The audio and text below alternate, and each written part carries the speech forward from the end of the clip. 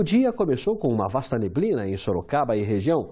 Foi um início de manhã com um clima bem diferente mesmo. Vamos ver.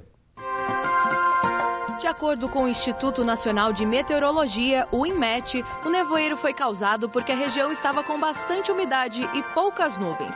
Pela manhã, a mínima chegou a 13 graus.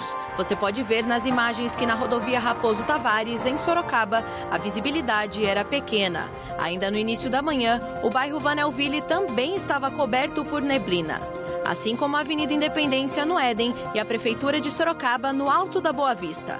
Na região da Avenida Armando Panunzio e da rodovia João Leme dos Santos, o nevoeiro estava um pouco menor.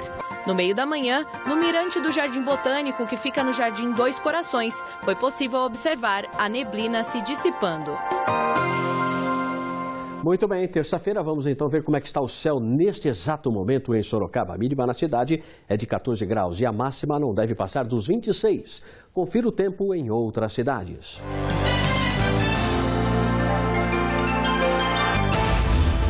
Itu registra mínima de 14 e máxima de 26 graus. Itapetininga tem a mesma mínima e máxima de 25. Em Jundiaí, as temperaturas ficam entre 16 e 26 graus. Piedade tem mínima de 12 e máxima de 24 graus.